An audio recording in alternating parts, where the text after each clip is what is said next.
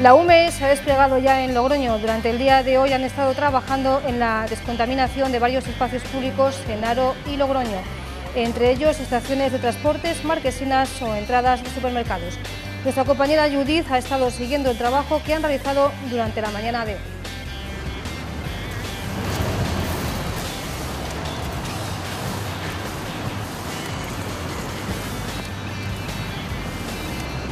Nos encontramos en el Parque de Bomberos de Logroño, donde acaban de llegar vehículos de la UME.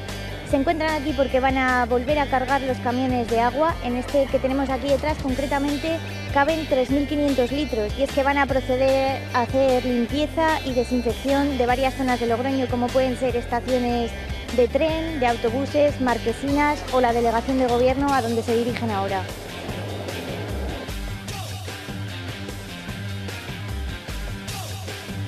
Pues luego veremos más imágenes de ese trabajo. Y el coronavirus nos sigue dejando datos en la región. Hoy hay que lamentar una quinta víctima mortal. Tiene los datos, todos los datos, nuestro compañero Víctor Zurunel. Buenas tardes, Lourdes. En España ya hay más de 11.000 casos confirmados y tenemos que lamentar casi 500 muertes en nuestra comunidad autónoma hay 355 casos confirmados, la cifra de fallecimientos ha aumentado hasta 5 y hemos conocido el fallecimiento de una persona más en nuestra comunidad por coronavirus y se mantienen esas dos altas. Luego te doy más datos. Un total de 102 expedientes de regulación temporal de empleo se han presentado en La Rioja hasta las 12 del mediodía de este viernes. Estos ERTES afectan a 1.600 trabajadores. Ayer se presentaron 49 ERTES en la comunidad que afectaron a 842 trabajadores.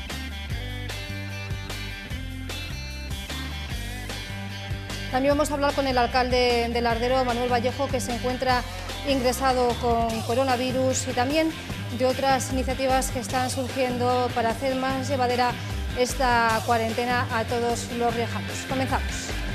Programa patrocinado por Grupo Osga.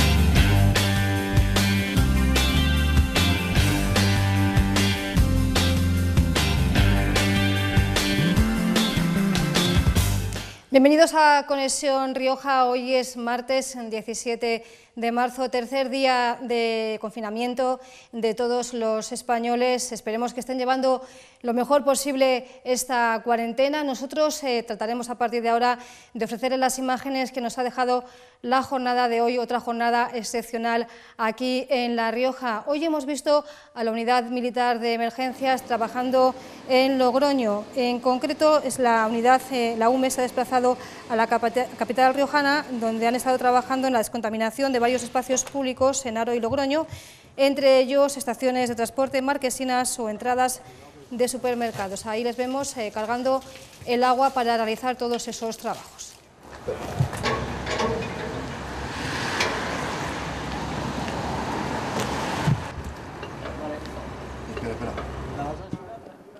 Pues hasta esta calle, la calle Bretón de los Herreros, se han desplazado la UME.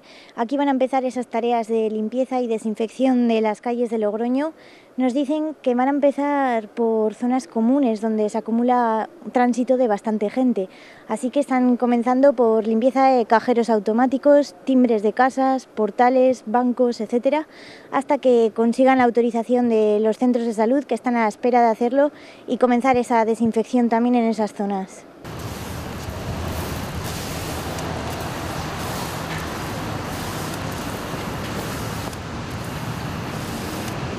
En La Rioja ahora mismo estamos trabajando un subgrupo táctico entero. Esto significa dos secciones de intervención que para esta emergencia pues somos 32 militares con unos 12 vehículos cada sección. Ahora mismo estamos mi sección que está trabajando aquí en Logroño y tengo otro compañero con otra sección que está en la localidad de Aro. Nosotros colaboramos con, eh, con el gobierno de la localidad a la que vamos a auxiliar y bueno, es un poquito las labores de desinfección de las eh, infraestructuras más importantes que nos dice el gobierno correspondiente. En este caso pues estamos en, las delegaciones del gobierno, en los centros de salud, en los supermercados, en las estaciones de eh, trenes, autobuses, limpiando bueno, los cajeros incluso, un poquito los, las zonas de máxima afluencia de personal. Nosotros eh, empezamos ayer a trabajar aquí, que fue cuando se nos reclamó eh, el trabajo y hoy vamos a continuar todo el día y la previsión, pues la verdad que no lo puedo decir porque andamos un poco eh, día a día trabajando según las instrucciones que nos van dando. ¿Las desinfecciones cuántas horas dura, por ejemplo, una vez que se desinfecta pues, un, un lugar, una calle? No le puedo dar una información exacta, porque claro, entre que vuelve a pasar la gente sobre las instalaciones que ya hemos desinfectado, el tiempo que la lluvia tampoco ayuda mucho a que se mantenga ahí el producto sanitario. Entonces, bueno, la verdad que sí que hay que, hay que volver a desinfectar periódicamente porque si no, no, no conseguimos el efecto deseado. ¿Cuándo tendrían que volver a desinfectar? Entonces, más o menos calculan ustedes. El problema está en que no damos abasto y entonces es, es, difícil que volvamos a pasar por los mismos sitios porque hay otros muchos por los que aún ni siquiera hemos pasado. O sea, que ustedes eh, tienen la base en Zaragoza y se van moviendo por las comunidades de alrededor. ¿o? Eh, estamos desplegados en las localidades de, donde el coronavirus eh, tiene una mayor eh, influencia, entonces no significa que no volvamos a venir aquí, significa que no lo sabemos. Como la situación es tan cambiante, en función de las circunstancias, pues nos, volvemos a mandar al mismo sitio o a otro que requiera más urgencia. Y lo, el coronavirus nos sigue dejando nuevos datos en La Rioja. Hoy hemos conocido una quinta víctima mortal. Volvemos a conectar con nuestro compañero Víctor Zurunero, que tiene todos los datos eh, recogidos. Pues sí, Lourdes, un fuerte repunte en los datos en nuestra comunidad. Alcanzamos los 355 casos confirmados, 82 de ellos permanecen hospitalizados y 13 en la UCI. Entre el personal sanitario hay ya 26 casos por coronavirus. El número de fallecidos ha aumentado en uno, son 5 ya las personas que han fallecido en La Rioja por coronavirus y se mantienen de momento esas dos altas, esas dos personas que han sido ya curadas del coronavirus en La Rioja. El director general de Salud Pública ha explicado esta mañana la situación en la que se encuentra la sanidad en nuestra comunidad. No hay camas duplicadas en el Hospital San Pedro porque no hay necesidad de, de hacerlo. Conforme vayan ocurriendo los acontecimientos, veremos las necesidades que hay, pero hoy no hay necesidad y yo mmm, confío en que no llegue a hacerlo porque las medidas que se han tomado de, digamos, de, de contención, ¿no? de aislamiento social, de mantener la distancia social, del quédate en casa, van a tener su efecto en 10, 12 días y hasta esos 10, 12 días el sistema sanitario tiene suficientes camas individualizadas o individuales para que no sea necesario que haya camas duplicadas. Y por eso, Lourdes, es tan importante mantener esas medidas de higiene y también el aislamiento domiciliario, tanto de las personas que están enfermas como aquellas que están en cuarentena y de toda la población en general. Ya saben, hay que salir lo menos posible y tan solo para lo indispensable o acudir a nuestro puesto de trabajo. Pues sí, sí efectivamente tenemos que seguir las recomendaciones que nos marquen eh, las autoridades. 355 víctimas aquí en La Rioja. Poco a poco les vamos poniendo nombres y caras. Una de ellas es Manuel Vallejo, alcalde de Lardero, que, que está ingresado en el hospital. Hola, ¿qué tal, Manuel? Hola, muy buenas tardes, Lourdes. Mucho ánimo, mucho ánimo queremos mandarle en primer lugar.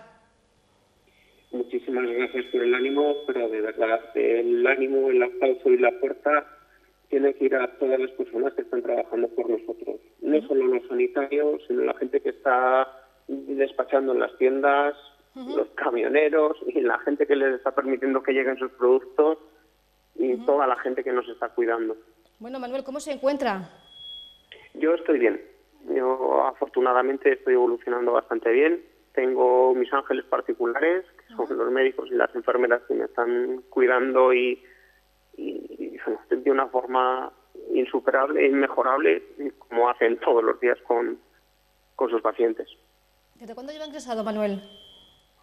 Eh, yo soy médico uh -huh. y yo me puse yo me puse malo en, en, la guardia que estaba haciendo el viernes, hice un pico de fiebre y bajé a ver a mis compañeros, les comenté que por la clínica que tenía pues podía ser un caso sospechoso. Uh -huh me aislaron y bueno, pues ellos hicieron el diagnóstico.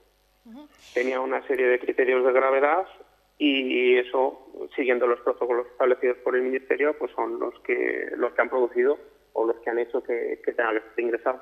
Bueno, eh, decía que se encontraba eh, mejor. Eh, ¿cómo, ¿Cómo es el día? Me imagino que un poco duro.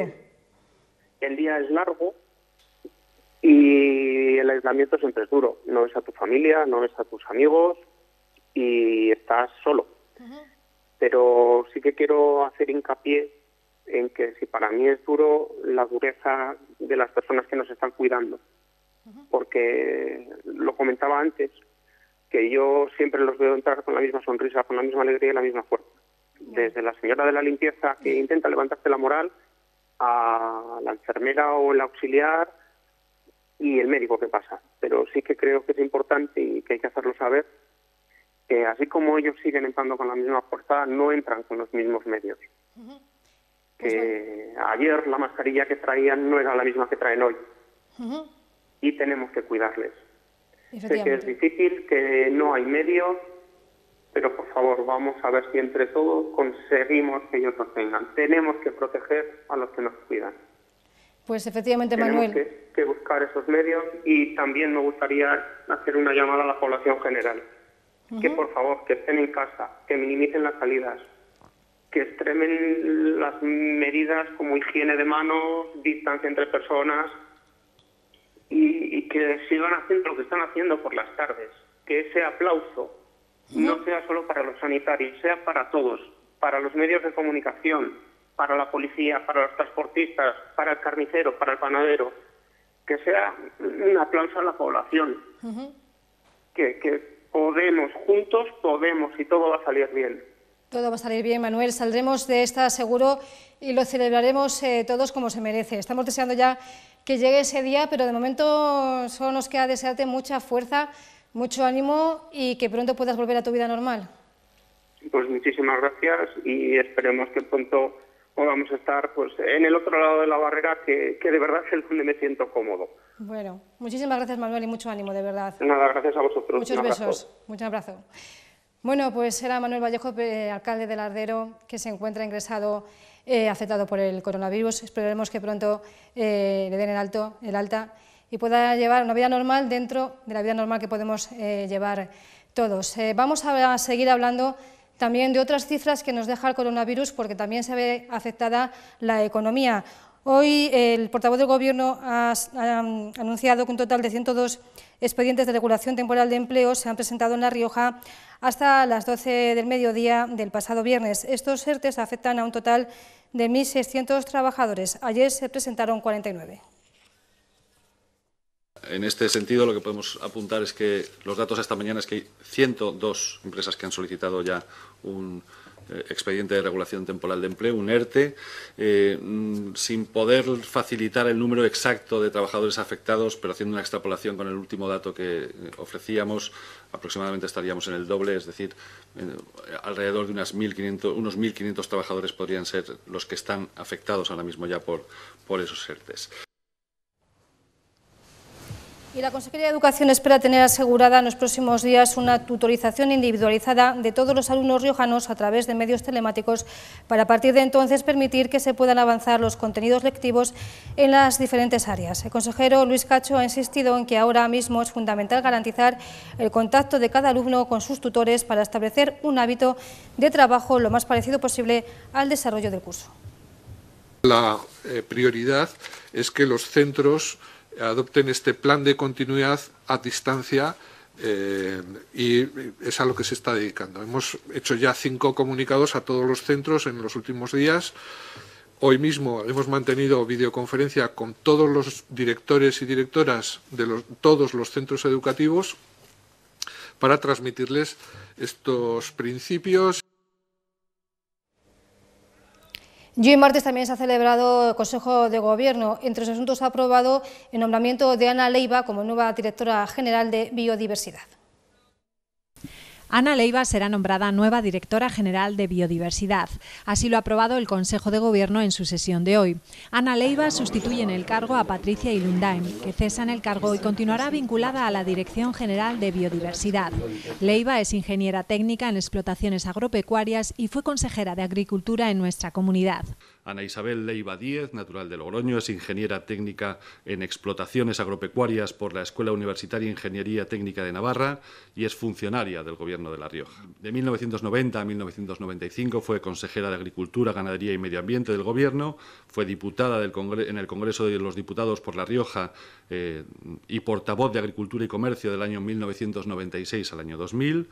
Además, fue delegada de la Sociedad Estatal de Infraestructuras Agrarias Sellasa del Nordeste para La Rioja y Navarra de 2004 a 2005 y fue también secretaria de Estado de Cooperación Territorial del Ministerio de Administraciones Públicas de mayo de 2005 a julio de 2007. El Consejo de Gobierno ha aprobado también el gasto previo para la convocatoria de ayudas a la diversidad para el curso educativo 2019-2020 por un importe total de 200.000 euros y que irán destinados a apoyar los programas de atención educativa dirigidos a dar la mejor respuesta al alumnado con necesidades específicas de apoyo educativo convocatoria de ayudas a la diversidad para el curso educativo 2019-2020 por un importe total de 200.000 euros y que eran destinados a apoyar los programas de atención educativa dirigidos a dar la mejor respuesta al alumnado con necesidades de apoyo educativo. Estos programas, a los que se refiere la convocatoria de ayudas a la diversidad, abarcan un amplio espectro de necesidades educativas especiales, desde las dificultades específicas de aprendizaje al TDA, altas capacidades intelectuales, incorporación tardía al sistema educativo o condiciones personales o de historia escolar.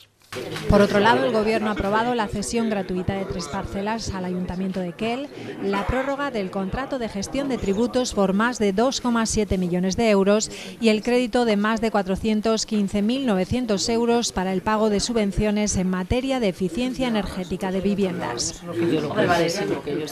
Y más medidas provocadas por esta situación excepcional en la que nos encontramos. El Gobierno regional ha suspendido los vuelos que conectan La Rioja con Madrid por el coronavirus. Esta medida supone interrumpir las cuatro frecuencias semanales en la ruta Madrid-Logroño de martes a jueves a las 9 de la noche y domingo a las 8 y en la ruta Logroño-Madrid se cancela el servicio de lunes a viernes a las 7 y media de la mañana. Y seguimos saliendo a la calle para ver mm, lo que es el ambiente, cuál es el ambiente que se respira en Logroño durante estos días, donde las calles están más vacías eh, que nunca. En esta ocasión nos hemos ido hasta la estación de autobuses, allá ha estado nuestra compañera Judith. La estación de autobuses de Logroño es otro de los lugares más afectados por esta crisis que nos está dejando el coronavirus. Hoy nos hemos desplazado hasta aquí y comprobamos que son pocos los viajeros que se encuentran en el interior y queremos hablar con Susana, que es encargada, entre otras compañías, de Rioja Car, por ejemplo, para saber cómo está afectando ¿no? esta crisis del coronavirus eh, a vuestra compañía. Bueno, pues está afectando de lleno, hay muy poca afluencia de público, como podéis ver, y las ventas, pues bueno, se reducen a 90 y tantos por ciento menos de lo habitual. No viene prácticamente nada, hay servicios mínimos, un 50% más o menos tenemos de servicios, pero los viajeros apenas se. ¿Cuáles son algunas de las medidas de seguridad que se han adoptado a la hora de montar en autobús? Pues montar, hay desinfectantes para los viajeros, para los conductores, el llevar guantes, el que los viajeros no se pongan en primera fila y que vayan separados, que no hace mucha falta porque van muy poquitos, la verdad, no se tienen que separar mucho. ¿y, algún destino que se haya visto muy afectado, un descenso de viajeros que se note? Todos, es que es todos en general, no se puede decir solamente uno, es, son todos todos, todos, no hay uno en especial que se vaya mucho menos gente, no se mueve, la, ya, veis la estación como la tenéis ahora mismo, está vacía prácticamente, entonces es que se ha, notado todos los servicios. Eh, ¿Habéis notado, por ejemplo, algún viajero que se desplazase por temas laborales, por trabajo, y que ya no venga? Sí, sí, sí, muchos, claro. Los estudiantes, por supuesto, todos, porque no tienen clase, y los de trabajo, pues la mayoría también. Poquitos vienen a trabajar, pues por eso, porque han cerrado el puesto, porque no vienen, porque hacen teletrabajo, por diversos motivos, pero muy poquitos vienen. Los que no tienen otro remedio, vamos. En tu caso, la opción del teletrabajo no puede ser. Es imposible, hay muchas ventas igual que se pueden hacer por internet, pero no todas. Y aquí tenemos que estar, aparte tenemos que atender al teléfono, los clientes que vienen, a los que no saben tampoco cómo está funcionando y demás. Tenemos que estar. Pues muchas gracias, Susana. Nada, a vosotros. Bueno, ¿usted va a viajar? Sí. ¿A dónde va? Calahorra. ¿Es de Calahorra? Eh, sí, vivo en Calahorra. ¿Por qué ha venido a Logroño? He venido para una consulta médica con un especialista. O sea, son casos puntuales, ¿no? Que hay que venir obligatoriamente. Obligatoriamente, sí. Tenía la cita a las 11 y cuarto y ahora estoy esperando para volver. He venido en vez de mi coche con el autobús. ¿Qué tal el servicio de autobús? Bien, eh, hemos venido de Calabria 5, en, bueno, en todo el trayecto, cinco personas. Y bien, tranquilos, sin poca circulación. Bien, bien. A Isla Llana. Eh, ¿Por motivos de trabajo o porque vive allí? Ahí tengo casa, allí. Tengo casa en Isla Llana, he bajado a hacer unas cosas a Logroño y para arriba. Ha bajado a hacer recados. A hacer una historia, sí, a mi negocio. Tengo aquí un negocio y entonces pues no puedo abrir, he ido a hacer cosas dentro del negocio, O sea, que ha bajado a hacer papeles. a hacer, a hacer cosas dentro de mi local. ¿Sabes? Pero la puerta cerrada y ya he terminado y subo para arriba. No O sea, que no, no se tiene que desplazar más el resto de días. No, para nada. Ya no hay nada más para desplazarse. Otro de los lugares que está precintado y está sufriendo los estragos de este coronavirus es la Concatedral de la Redonda. Ha quedado completamente cerrada al público y es que se han suspendido todas las misas, celebraciones, incluida la Semana Santa. Una noticia que afectará al turismo, de hecho ya lo está haciendo, y es que la imagen que nos encontramos hoy en esta plaza del mercado donde nos encontramos Lourdes es muy distinta a la que solemos ver. Hasta hace tan solo una semana veíamos las terrazas de los bares llenas de gente tomando café, eh, peregrinos del Camino de Santiago y hoy lo que nos encontramos son bares cerrados, negocios que han echado el cierre y una concatedral que también ha cerrado sus puertas al público por el bien de todos. Pues sí, nos vamos acostumbrando poco a poco a ver esas imágenes en la capital riojana. También la Semana Santa y la Cuaresma se han visto eh, suspendidas, muchos actos de la, de la Cuaresma y de la Semana Santa se han visto suspendidos por este coronavirus, nos lo explica el hermano mayor de la Hermandad de Cofradías de Logroño. Hola, eh, desde la Hermandad de Cofradías de la Pasión de, Logroño y por la incertidumbre que, la pandemia del coronavirus eh, ante las medidas eh, tomadas eh, por las autoridades sanitarias se decidió suspender o aplazar los diferentes actos que teníamos previstos para la cuaresma. Entre ellos podemos destacar eh, la inauguración de la exposición Homo Factus Es, eh, la cual se iba a inaugurar en Cáceres y dicha exposición ha quedado aplazada. También la exposición de Playmobil que tenemos en el claustro de Santa María de Palacio, eh, pues quedó cerrada y hasta nuevo aviso, entonces lo prolongaremos, la abriremos seguro y prolongaremos las fechas para que todo el mundo pueda venir a verla. El sábado 21 de marzo, eh, actividad de la 11 más 11, igual la sentimos la pasión, eh, pues ha quedado suspendida. Eh, también el certamen de Nacional de Bandas quedó aplazado. El trío de las siete palabras también ha sido aplazado. La conferencia sobre el Cristo de las siete palabras también quedó aplazado. El viernes 27 de marzo estaba previsto el Via Crucis de la Juventud. Este ha quedado suspendido. El sábado 28 de, marzo el auto de la cruz también ha quedado suspendido. El domingo 29 de marzo, que había dos ensayos solidarios, el de Jesús Nazareno ha quedado suspendido y el de la Cofradía de la Flagelación de Jesús ha quedado aplazado. También el jueves 2 de abril, que era el pregón de la Semana Santa, ha quedado suspendido. A partir de entonces eh, ya no hay ninguna, ninguna decisión tomada. Eh, en principio eh, tenemos fecha para, para decisión sobre la Semana, no tenemos fecha de decisión para la Semana Santa y mientras seguiremos pues rezando al Señor y a nuestra Santísima Virgen de la Esperanza eh, para una pronta solución de, de esta pandemia, para que día a día sea menos el número de afectados y que sufran lo menos posible todos los enfermos. Y nuestra recomendación es que quede todo el mundo en casa eh, para, para que, que sea pronta la recuperación y rápida la solución de esta pandemia. Y continuamos con el lema Quédate en casa.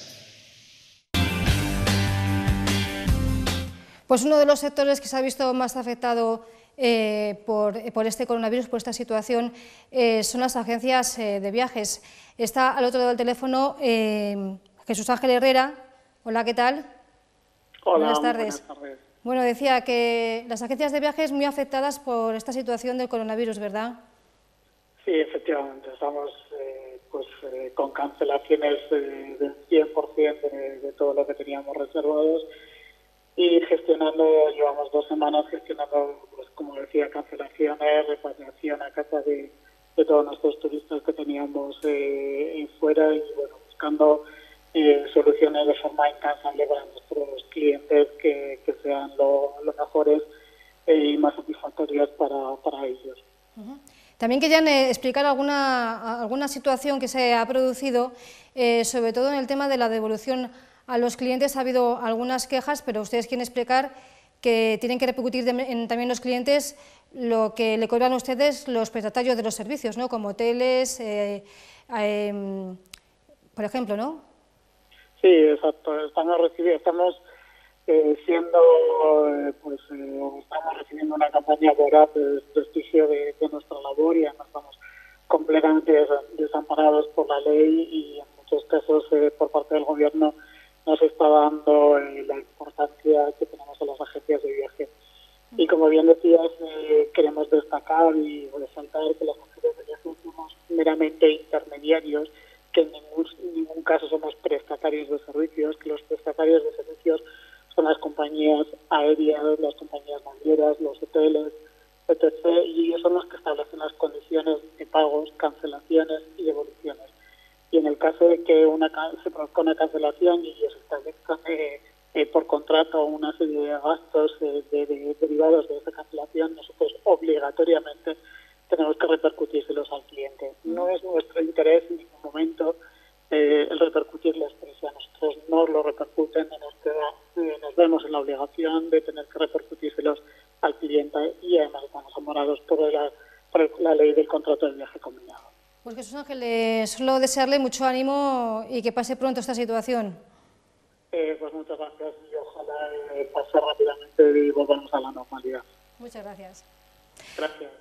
Bueno, y vamos a hablar también de otras personas que se han visto afectadas por esta situación excepcional en la que nos encontramos. Muchos estudiantes estaban estudiando en sus respectivos lugares y, se han visto obligados al volver a España. Una de ellas es eh, una estudiante que estaba en Milán, estaba en Italia, en Milán, y ha vuelto aquí a España. Bueno, yo soy estudiante y diseño de moda en la en Logroño y actualmente curso tercero la carrera. Decidí estudiar el primer cuatrimestre esta en, en, Italia, en concreto en Brescia, una ciudad de la región de Lombardía, que desafortunadamente fue la primera afectada por el coronavirus. Eh, esto provocó pues, que regresase a España mucho antes de lo previsto, eh, por el miedo que teníamos al cierre de fronteras, ya que era una posibilidad que se estaba barajando, y bueno, que por ejemplo volviese sin, sin exámenes por realizar, ya que justo nos pilló en, en, la semana de exámenes. Bueno, en cuanto a la situación que se está viviendo en La Rioja como en el país entero, es muy similar a la que todavía a día de hoy vive en Italia.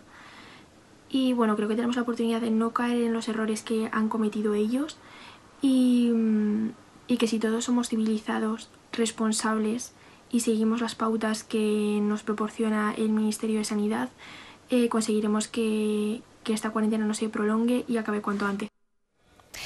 Bueno, pues nosotros nos vamos ahora a publicidad y a la vuelta les vamos a hablar de algunas iniciativas que se están llevando a cabo para hacer más llevadera esta cuarentena en casa. Hasta ahora.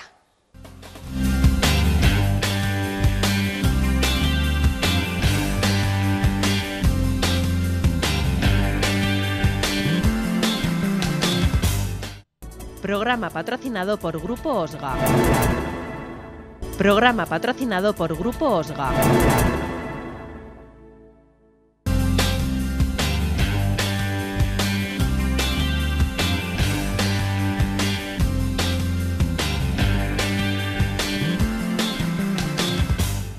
Ya estamos de vuelta. En estos días de confinamiento, pues todos tenemos que buscar alguna cosa que hacer en el día a día para poder eh, llevar eh, mejor esta situación. Creo que nuestro compañero Víctor Zurunero nos va a hablar de una iniciativa de Logroño Deporte que nos va a permitir hacer deporte en casa de una manera muy sencilla. A él le vendrá muy bien. Pues sí, Lourdes, durante estos días que nos toca estar en casa también es importante seguir manteniéndonos en forma y hacer un poco de deporte. Para facilitar las cosas, Logroño Deporte en su página web ha colgado vídeos para entrenar en casa. En concreto, ya están disponibles los tres primeros, que están divididos por categorías para niños, adultos o personas mayores. Es una forma entretenida de poder seguir haciendo deporte en estas circunstancias tan especiales para todos. Bueno, pues vamos a ver ahora unas imágenes de esas clases que realizan los monitores eh, de Logroño Deporte. Eh, se irán colgando diferentes eh, vídeos para que ustedes en sus casas pues, puedan realizar estos sencillos ejercicios cuando les apetezca y de una manera muy sencilla. Arriba, abajo, o también podemos trabajar tríceps arriba y abajo, atrás, ¿vale? Todo esto lo vais repitiendo 10 veces, o las que os parezca, ¿eh? oportunas. vais hasta arriba, cada uno, dentro de sus posibilidades, sin forzar. Si en algún momento sentís algún tipo de dolor o algún tipo de molestia, directamente lo omitís, no pasa nada, ¿de acuerdo? Luego podemos eh, coger eh, la barra ahí, o la escoba mejor dicho. Todos, pa, pa, pa, y cuando se para la música, todos nos quedamos quietos.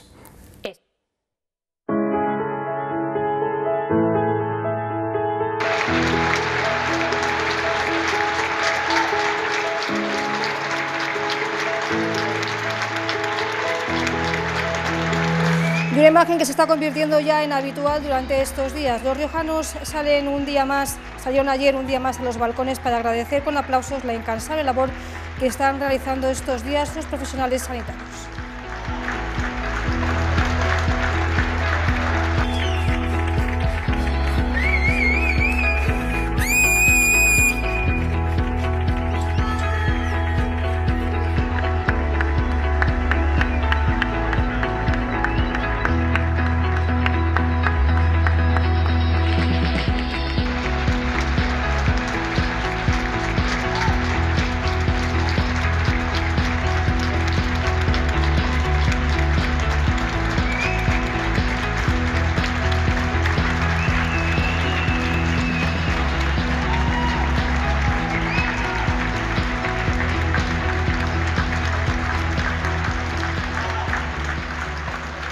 Esta noche una nueva cita en los balcones para aplaudir a todos esos grandes profesionales. Nosotros nos vamos eh, ya, les vamos a dejar con unas imágenes que han mandado los alumnos del Colegio Salesianos Los, los Boscos, invitando a todos a que nos quedemos en casa. Mañana nos vemos a partir de las 4 de la tarde. Espero que les sea muy llevadero estos días en casa, que lo aprovechen, por ejemplo, como hemos visto, para hacer deporte. Volvemos mañana.